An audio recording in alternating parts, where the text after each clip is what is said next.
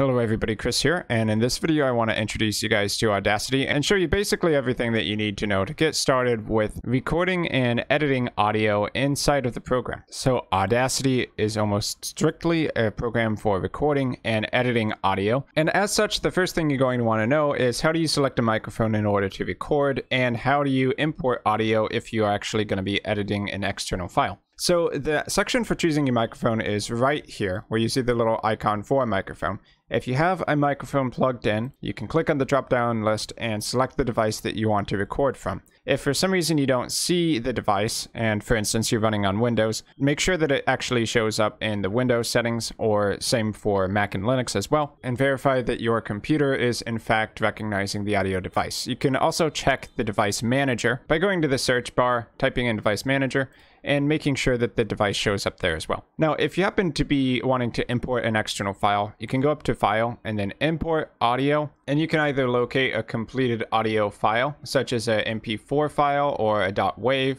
or .ogg as well. Or if you have other previously edited or saved Audacity projects, you can find them represented by the .aup extension. And if you load up an audio file, it should enter the timeline similar to this little bit that I've recorded with my microphone before the start of this video. So in addition to selecting a microphone, you can also choose an output device. So whatever you want to be listening back to your audio on, in this case, I have a headset selected, which is usually a good option. You can select those devices from this drop-down menu, same way as a microphone. And before you start recording or listening back to your audio, you may want to adjust the microphone volume.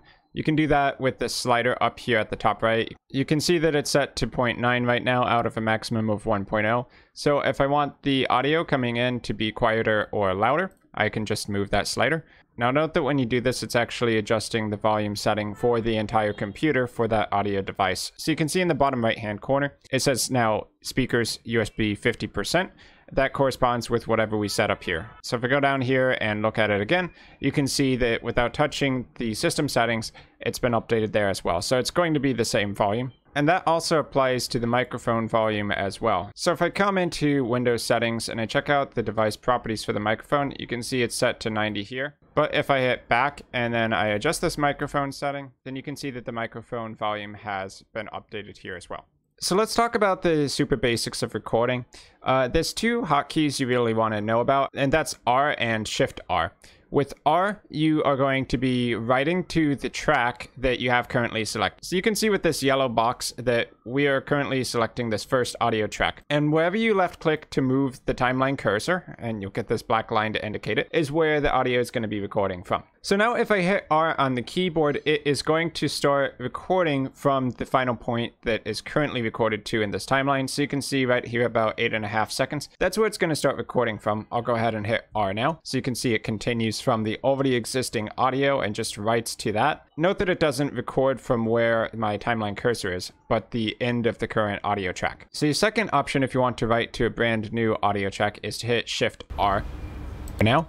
So you can see it continue and if you want to adjust the output volume for your currently selected audio device, you can go up here to the top right and you can adjust this playback volume slider. So your second option for recording audio is going to be to use Shift R. So if I hit Shift R right now, it's going to be writing to a new audio track and it starts that position from the exact point in the timeline where uh, I had the cursor set to. You also notice that when you're writing to a new track, but there's audio information on other tracks then as long as you don't have your microphone muted, it's also going to be playing back those other audio tracks to the output device. So you might want to be careful about that if that bothers you. You can either mute an audio track so it doesn't interfere with your recording, or you can mute your audio output or change it to an audio output device you're not going to be listening to. So now I would like to show you two interesting ways of playing back your audio rather than going to the start of the audio clip and hitting play for the entire track. If you want to quickly listen back to a part of your audio, such as a one second period, you can left click at this point above the timeline and drag this arrow out to the starting or ending point, and the audio will play back for that time frame. Audio track now, and it's so that's a way that you can quickly listen back to a select part of your audio and see if it's good or not, and that maybe if you need to re-record or edit it. So a second option that I want to show you is to use scrubbing and seeking for your audio. So rather than having to select part of your audio and hit the spacebar, or the play button over here, quick video, like so, and then space to stop it. What you can do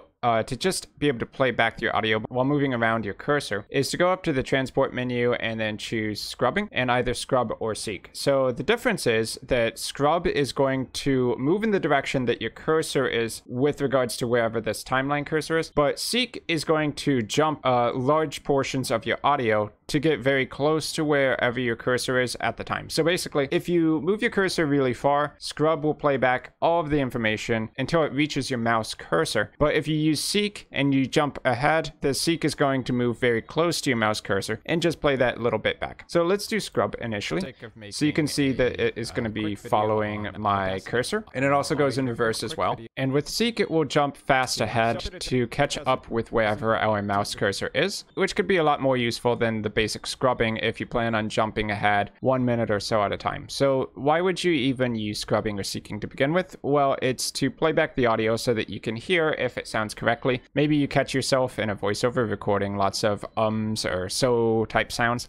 And this can be one method for quickly identifying those without having to rely on the play button. So I've already shown you one way to create a new audio track by hitting Shift R to record to a new audio track, but here's another option. You can go up to the tracks menu, go to add new, and then choose either mono track for a track that only has one channel audio, meaning it does not have left and right channels, but rather just one channel of audio, and a stereo track which is going to have left and right channels. So if for some reason you plan on speaker balancing your audio, either having one of the tracks come mostly out of the left speaker or the right speaker, probably more of a music thing, but you can control that on a stereo track by controlling this pan meter. So if you keep it in the center, it's going to come out equally from both sides of the speaker, but you can adjust that. So now let's talk a little bit about the tools you have available for editing your audio. So first off, the selection tool, you can see up here that it is selected by default. If you ever need to switch to it, you can use the shortcut F1. And the idea here is that you can select part of your audio track for either cutting away or adding an effect to it. So the quickest way to cut away is going to be to use the cut tool, which is shortcut control X. I almost always do it by shortcut. So control X is going to cut away that dead audio information and everything to the right of the track is going to ripple over to the left. If you'd like the cut to not ripple anything from the right over to the left to fill in this void, you can instead go up to the edit menu and do remove special and then do a split cut. The shortcut for that, as you can see, is Control Alt X, so that removes it without rippling. So as you record your audio, you may want to raise or lower certain parts of it. Maybe, for instance, you have background music pulled into this project and you want it to go down so that the spoken audio can be heard better. So you have a really good tool for that called the envelope tool. So this is basically for raising and lowering the audio volumes, and it does so using a sort of control point. So if I left click here, you'll see that this little circle is put down there, and there's also white dots here at the top and bottom. Because we only have one point, whatever we set here for the envelope tool controls the audio for the entire track. And if we left click and pull this up, you can see that we're in a sense shrinking or expanding the audio volume. So the higher these bars go, the louder the audio is going to sound. So if I want to make the audio very loud, I can left click somewhere in the middle here and pull it down in order to increase the volume. Or you can do the opposite. You can left click and bring it more into the center in order to decrease it. But one of the cool things about this tool is that you can add multiple control points. So if I left click here, I get a second set of points. And so we can compress the audio volume volume at this point and going forward to be a different audio volume than the earlier points in this track. And we can also go over here and set a third point where maybe we keep it about the same, but then at our fourth point, we expand the audio back open again. So by setting these four control points at different levels, we can bring the audio down for a specific part of our audio track and then make it louder again. So let's go ahead and I'll hit F1 to switch to the selection tool. By the way, envelope tool is F2 on the keyboard. So let's go ahead and play that back. I muted track one so that doesn't get in the way. The timeline where uh, I had the cursor set to. So it doesn't write Okay, and hopefully you could see the, that the audio was brought down about 10 or 12 decibels for this part, uh, which could be really useful if you need to fade something out or in. So there is a totally different way of lowering some of the noise down for a different purpose. So noise reduction, if you want to move some of the background noise out of your audio entirely, then what you can do is use the selection tool and grab some of the background noise from your video, but make sure that when you do this, that there's no spoken audio if you're doing a voiceover recording. Basically, only try to pick up the background noise. So I'll play it back here. And you can hear, especially with that car honking, that there's quite a lot there. So if we go to effect and then noise reduction, we can use get noise profile in order to let Audacity know roughly what we're considering to be background noise. And now we can select this audio clip and go back up to effect and noise reduction again. And uh, you can customize how much it should reduce the noise reduction, how sensitive you want it to be. More sensitive is generally going to pick up more background noise. But if you make it too sensitive, it might actually start to remove some of the audio you want to keep. So uh, be a little careful about that. And then uh, frequency smoothing, I'm not entirely sure about that. I've never actually modified that. But you can hit preview in order to listen back to your audio with the noise reduction. So let's go ahead and do that. To a new audio track, and it starts that position from the exact point in the timeline where Audacity seems to have done a pretty good job. So I'll go ahead and hit OK here and commit that. And what you should notice is that the timeline for that audio track has shifted a lot. Uh, generally, things get quieter, but what you really want to focus on is those areas where nothing is being spoken, where there would normally be a lot of background noise, and hopefully you'll see those roughly eliminated. If it doesn't remove all of that background noise entirely, what you might need to do is move your microphone closer to you and lower the gain on your microphone uh, so that it's picking up less of that background noise to begin with. But the noise reduction tool there is really nice. So a similar tool, if you're thinking of reverse, is to actually take your audio and make it louder across the board. So that is the amplify tool. If you want to make sure that your audio can get close to the audio peak without actually going over it, then the amplify tool is going to be really handy for you. So if you go to effect and then amplify, it's going to recommend how many decibels it should add to your current audio in order to bring your peak audio closer to the max, but without going over. Now, if you want to stay a little bit away from that peak max, then you can actually set a new peak amplitude, like negative one decibel. And you'll see that the amplification will update to reflect that value you want your current peak to be at. But generally speaking, you can just use the default value of zero here and the automatically calculated value will be reflected there. So now we can hit OK, and the audio in your track is going to be amplified to be about as loud as it can be without starting to distort some of the audio by being too loud. Generally speaking, this can be a handy tool if you happen to record your audio and it was too quiet by default. And next we have the compressor, which is going to try to take your audio and bring the different levels more in line with each other. So if we go up to the effect menu and choose the compressor here, the basic idea here is that it's going to be taking the audio below the threshold and making it a little bit louder. So without really playing around with the settings of the compressor too much, we'll just go ahead and hit OK here. As a result, your quieter audio gets louder and your loud audio gets quieter. So this is a before and this is an after. You can see this part was above the threshold, so it became a little bit quieter. And then if we show the after, you can see it's quieter now. But everything else, like this section here, gets a little bit louder. And as a result, all of your audio is going to be more in line with each other. So without playing around with it too much, the threshold is probably going to be the main setting you're going to play around with.